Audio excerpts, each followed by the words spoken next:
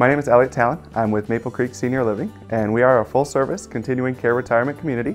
Uh, we're part of Lutheran Social Services of Michigan, which has a lot of different service areas, but specifically our senior living population.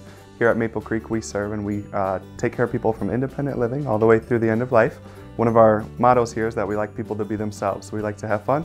We like to do a little bit of different things for our older population and make sure that they have a good time and dignity while they're aging.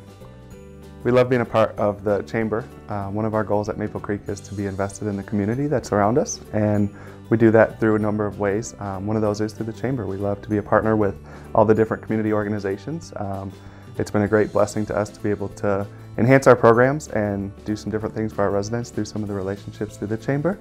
And it's been a great benefit for them to really have some opportunities that you might not have thought of as, as they age and learn some new things.